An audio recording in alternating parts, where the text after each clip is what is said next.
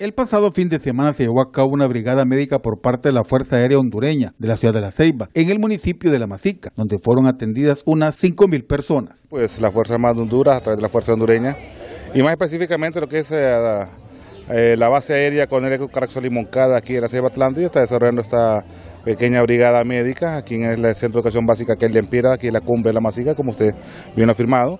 Pues eh, hemos tenido bien traer a la población un poco de, medicina general, odontología, tenemos ginecología, ortopedia, tenemos algunas atenciones sociales como ser eh, piñatas, tenemos piscinas, hula hoop. Los beneficiados recibieron una atención generalizada de salud, como nos explica la doctora Gabriela López, pero que lo más importante es que se atendió a una población que está carente de este servicio y que obtuvieron medicina gratis. Sí, eh, definitivamente a nivel público pues eh, hay muchas carencias de medicinas y a nivel privado el paciente muchas veces llega a la consulta y se va solo con la receta, no puede comprar las medicinas.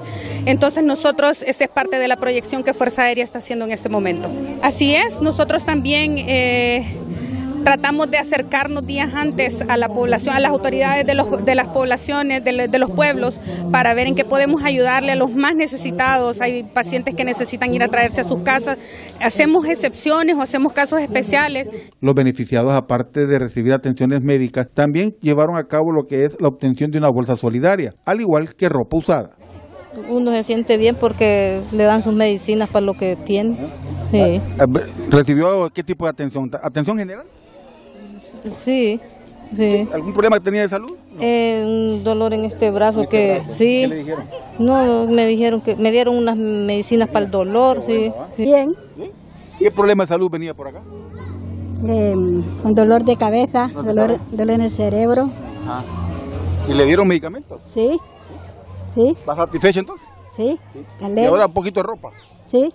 El representante de la Masica, Freddy Ochoa, nos dio a conocer su conformidad por este tipo de actividad de la Fuerza Aérea. La verdad que proyectos como estos o ayudas como estas son las que vienen a resaltar ¿verdad? lo que es la población de nuestro municipio y agradecidos con la Fuerza Aérea por este gran gesto, ¿verdad? este noble gesto. En cámaras, Esteban Oliva, quien les informa, Rubén Bonilla.